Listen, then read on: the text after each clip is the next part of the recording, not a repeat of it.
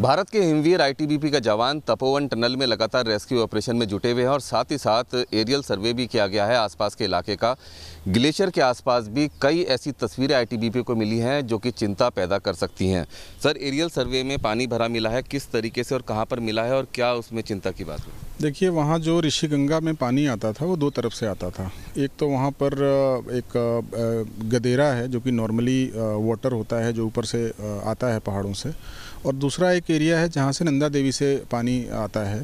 तो जो ये नंदा देवी साइड से जो नाला आ रहा है वो कहीं कहीं पर उसमें पानी रुका हुआ है। अब वो कितना पानी है वो एक बार वहाँ डिटेल में जाके पता लगेगा। लेकिन काफ़ी सारे ऐसे दो तीन ऐसे पॉकेट्स हैं जहाँ थोड़ा थोड़ा पानी रुका हुआ है। और इसकी वजह से जो फ्लो है धौली गंगा और ऋषि गंगा का वो काफ़ी कम है अभी।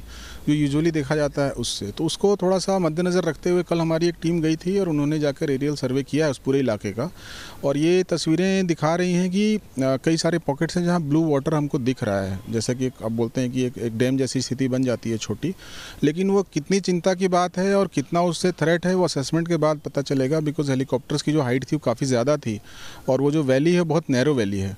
तो उसको देखते हुए हमारा ये आइडिया है कि टीम जियोलॉजिस्ट की और बाकी लोगों की वहाँ पर पहुँचेगी और वो लोग पहुँच के एक आइडिया बनाएँगे और एक सिस्टम लेंगे जिससे कि उससे उस पर्टिकुलर चीज़ को हम लोग स्ट्रीमलाइन कर सकें। फ़िलहाल उसके लिए स्थानीय प्रशासन के साथ एक डिटेल्ड ब्रीफिंग और मीटिंग कल आयोजित की गई है। मैप्स पर सारी चीज़ें उनको बता दी गई हैं और हो सकता है एक आध दिन में उसका एक वे आउट निकलेगा।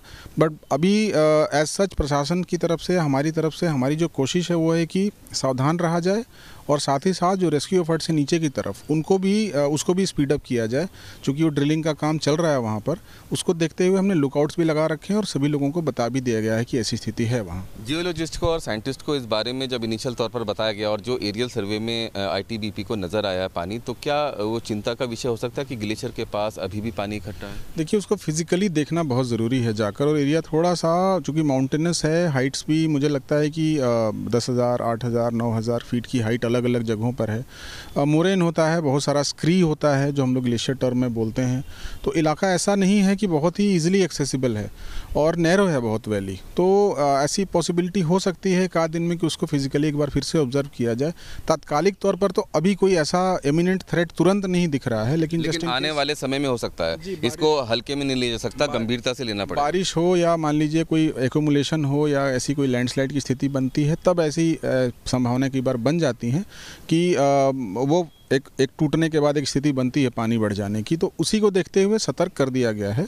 हो सकता है एक दो दिन में कोई निर्णय ले लिया जाएगा जिससे कि उसको स्ट्रीमलाइन कर सके जो चैनल आ रहा है पानी का उसको। ताकि वक्त रहते कोई ऐसा कदम उठाया जा सके ताकि किसी भी स्थिति में दोबारा से ऐसी आपदा जैसी हालत ना पैदा हो सके इस पानी की वजह जी हाँ और हमारे मैं जैसे आपको बताया कि हम लोग उसको देख रहे हैं। अगर ऐसा स्थिति कुछ बनती भी है तो हमारे लुकआउट्स हैं हमारे अर्ली वार्निंग एलिमेंट्स अभी लगे हुए हैं वहाँ।